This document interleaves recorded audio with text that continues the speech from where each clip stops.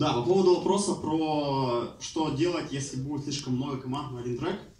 Очевидно, что это невыгодно, потому что приз один. Если будет пустой трек, то кто-то должен туда перейти, потому что это выгодно. Вот, но все треки более-менее интересные, я думаю. А, да, так, давайте начнем. Да, давайте обратно. Я в компании Waze отвечаю за разработку непосредственно блокчейн-ноды и некоторые другие аспекты. Вот. э, Поэтому меня тоже можно спрашивать о всяких таких штуках, и я буду помогать. Так, и наш третий трек — это вход-детектор. Смотрите, а, у нас есть публичный блокчейн Waves.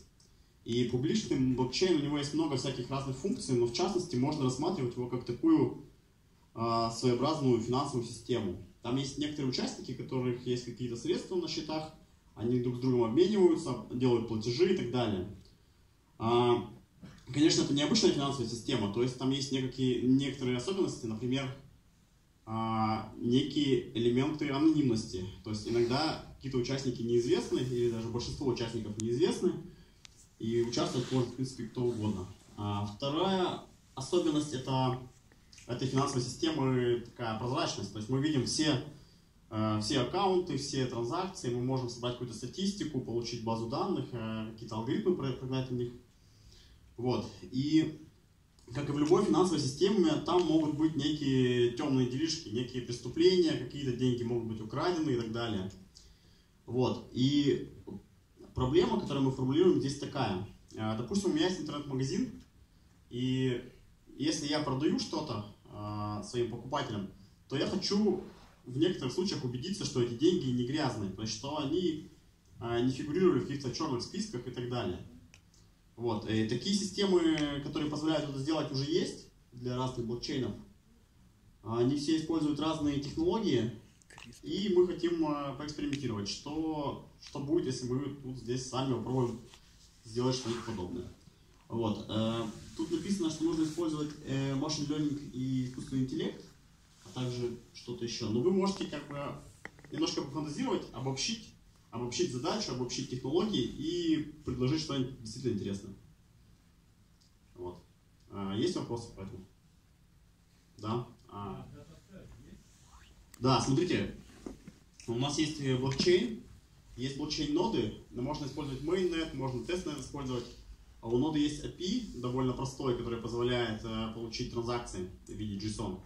И у нас также есть э, Data Service, это такой продукт, который собирает транзакции в SQL базу данных, и она тоже есть. То есть, если вы подойдете к иналу, он вам покажет, как туда зайти, а есть с майнета, и можно там э, хорошо экспериментировать. Transaction база с э, для дата-сервиса, то есть 200 гигабайт данных, выкачаны там транзакции, блоки и так далее. Мы вам даем прямо SQL интерфейс, read-only, то есть можете подключиться и э, делать...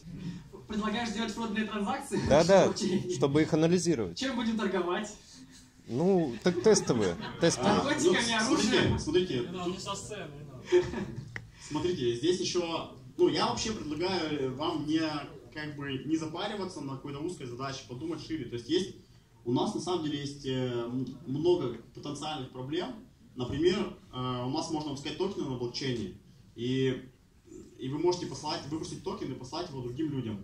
И частенько эти токены, они как бы либо пытаются э, подражать каким-то другим монетам, чтобы выдать себя за них, и их, допустим, купили, да, вместо настоящих.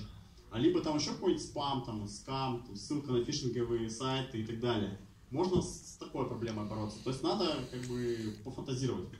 Вот. Я еще дополню, на самом деле на GitHub тоже, если интересный этот трек, э, скинем все данные. На GitHub есть список скам токенов, которые выпущены на, там, на Waves, на блокчейне Waves, поэтому можно взять вот эти данные и анализировать их тоже. То есть, если вот такое направление интересно. Да, это тоже интересно.